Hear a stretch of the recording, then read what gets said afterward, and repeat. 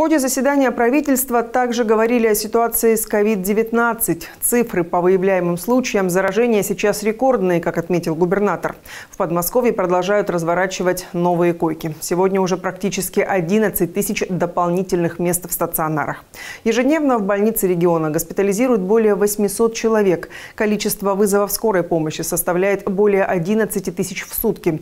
Посещаемость поликлиник выросла в два раза. На данный момент за помощью к медикам с вирусными, респираторными и другими заболеваниями обращаются более 210 тысяч человек в неделю.